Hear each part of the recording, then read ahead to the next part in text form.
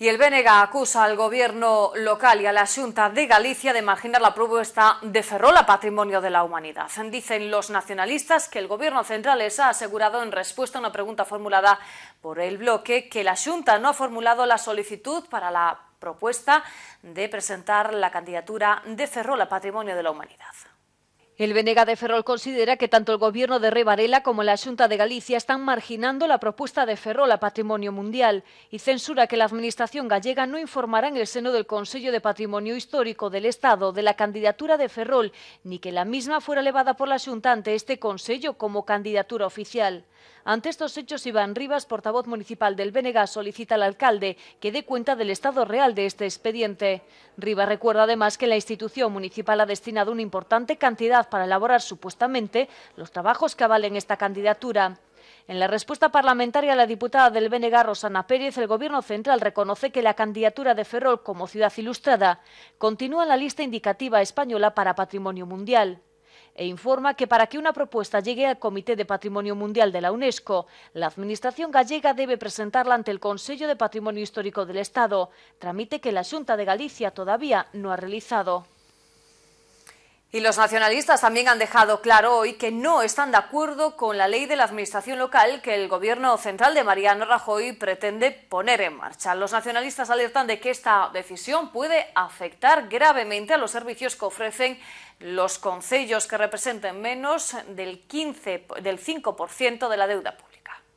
El bloque nacionalista galego de Ferrol ha pedido hoy al gobierno local que se oponga al anteproyecto de ley de modificación de la administración local por considerar que tendrá unas consecuencias fatales para el funcionamento de los concellos. Eh, esta nova lei o que pretende é unha concentración todavía máis do poder eh, político, establece que eh, os eh, concellos que eh, van deixar de eh, prestar eh, van ter que deixar de prestar servizos que ata agora estaban a prestar e eh, reforza a existencia e a capacidade para tomar decisións por parte das eh, deputacións.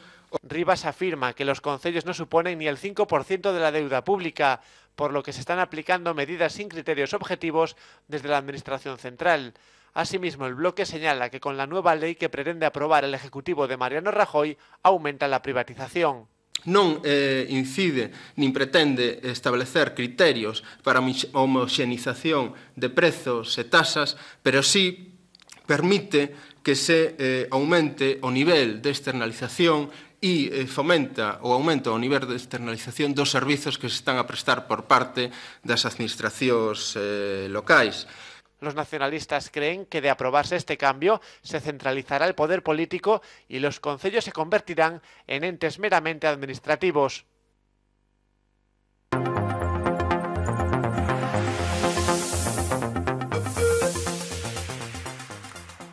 En tiempos de crisis todos tenemos que arrimar el hombro, por eso la autoridad portuaria ha decidido por segundo año consecutivo congelar las tarifas por los servicios comerciales, una manera de ayudar a, las distintas empresas que también operan en las instalaciones portuarias de nuestra ciudad.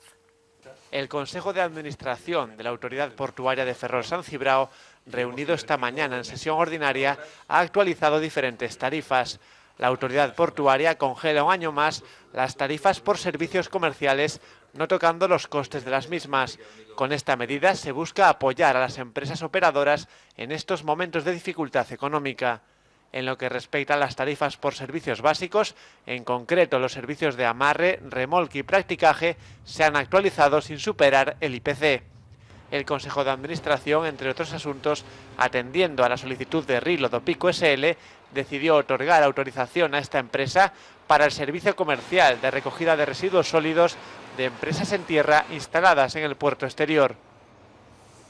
En tiempos de crisis, entidades como por ejemplo la Autoridad Portuaria congela sus tarifas y administraciones locales como por ejemplo el Concello de Fene apuesta por formar a sus separados de larga duración. En esta ocasión pone en marcha una nueva acción formativa dirigida a los desempleados de este municipio, pero también a otros vecinos de la comarca. Se trata de un programa de la especialidad de montador de estructuras metálicas que va a desarrollar en colaboración con la Diputación Provincial de A Coruña. En tiempos de crisis, los concellos apuestan por la formación con el objetivo de ayudar a sus vecinos para poder incorporarlos al mercado laboral. El Concello de FEN, en colaboración con la Diputación Provincial da Coruña, pone en marcha una nueva acción formativa que se embarca en el proyecto Redesiana 2, gestión integral, accesibilidad, nuevas tecnologías y adaptabilidad en el mercado laboral gallego, un programa financiado por el Fondo Social Europeo. En FENE se impartirá el curso de montador de estructuras metálicas. Los alumnos, personas desempleadas de FENE, Ares, Mugardos, Narón, Neda, San Sadurniño y Valdoviño, no solo recibirán la formación adecuada a sus necesidades formativas, sino también orientación y tutorías individualizadas para facilitar la inserción laboral. Y hasta Ortigueira nos vamos ahora porque el gobierno local pone en marcha también una nueva acción formativa, pero en esta ocasión dirigida a las pymes, al pequeño y mediano comercio, con el objetivo de enseñarles eh, pues, a manejar las nuevas tecnologías, a ser competitivos a través de la red de redes. Se trata de un taller importante para que los pequeños comercios de Ortigueira se apunten también a las nuevas tecnologías. El aula CEMIT de Ortigueira acoge el próximo jueves día 21 una nueva jornada destinada a promocionar las posibilidades y ventajas que oferta Internet como canal de comercialización. Este curso está dirigido específicamente a pequeñas empresas y autónomos de los sectores del textil y el calzado de la comarca. El taller, totalmente gratuito, ofrecerá a los asistentes las principales claves para poner en marcha o rentabilizar un negocio en Internet. Dado que las plazas son limitadas, desde el aula CEMIT de Ortigueira dependiente de la Concejalía de Cultura, se anima a los trabajadores de establecimientos de venta de calzado y ropa a inscribirse. Esta iniciativa está impulsada por la Secretaría de Estado de Telecomunicaciones a través de la entidad empresarial Red.es y se impartirá por medio de videoconferencia desde el Centro Demostrador TIC de Santiago en ocho aulas de la red CEMIT de toda Galicia.